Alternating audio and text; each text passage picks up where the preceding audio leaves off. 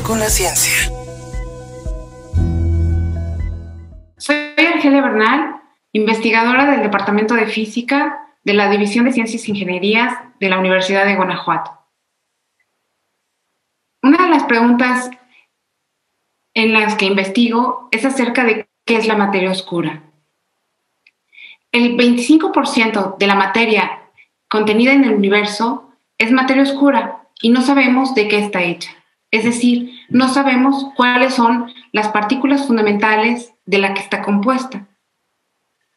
La materia de la que nosotros estamos hechos, los humanos, los planetas, las estrellas, contabiliza solamente el 5% del contenido total en el universo. Y a diferencia de la materia oscura, sabemos perfectamente cuáles son las partículas que la componen.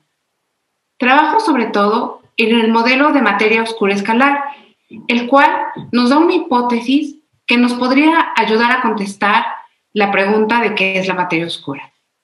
Estoy muy orgullosa además porque uno de los precursores de este modelo es precisamente un colega y amigo del Departamento de Física.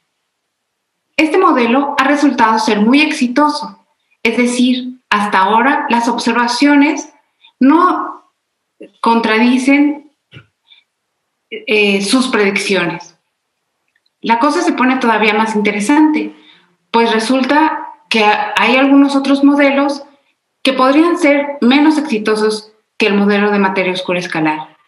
Pero incluso más, observaciones recientes y muy interesantes, como la detección de ondas gravitacionales producidas por choques de objetos muy masivos y compactos en el universo o incluso las fotografías de agujeros negros nos podrían el modelo es correcto o no.